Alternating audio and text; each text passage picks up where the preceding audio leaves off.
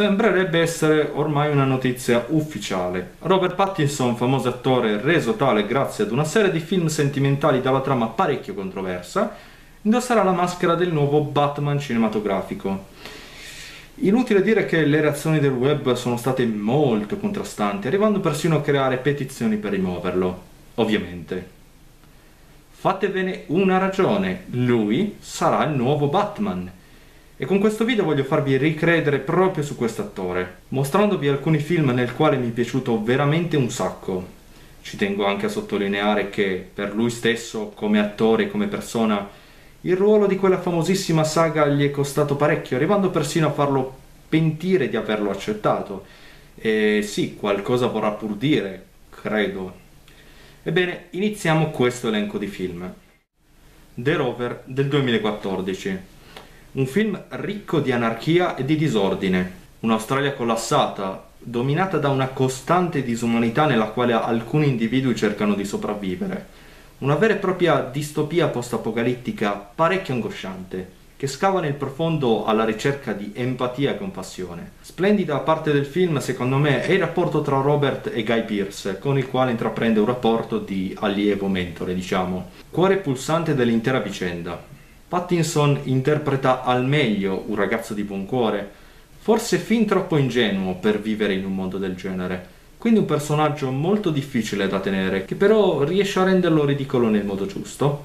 Questo film è stata una vera sorpresa per me. High Life del 2018. Splendida allegoria fantascientifica. Un uomo ed una neonata, con attorno il silenzio ed il vuoto dello spazio, un mondo nel quale l'unica speranza è l'amore di un uomo nei confronti di questa bambina. Robert regge sulle spalle l'intero film, visibilmente dimagrito, in bilico tra i gesti delicati della vita. Ci regala forse in questo la sua versione più matura e sofisticata. Il turbamento umano che rappresenta è quindi più che riuscito. Civiltà perduta del 2016. Un interessante film composto da avventura e ossessione, basato sulla sofferta storia vera di Percy Fawcett, un esploratore britannico impersonato però da Charlie Hunnam. Qui Robert interpreta il caporale, un ruolo marginale ma non per forza sovrastato dal protagonista. Presse morali e vari dilemmi girano intorno al film e Pattinson, pur essendo il taciturno qui della situazione, riesce ad amalgamarsi al meglio per tutto l'arco della vicenda. Good Time del 2017 devo ammetterlo, pur non avendo proprio un'ottima trama, questo film mi ha colpito proprio per l'interpretazione di Robert, in un ambiente teso, nevrotico, quasi disturbante, dentro il quale il suo personaggio trasandato viene messo sempre alle strette. Un'interpretazione davvero intensa, la sua, soprattutto sottolineata da degli splendidi primi piani, che racchiudono molto più di dei semplici sguardi.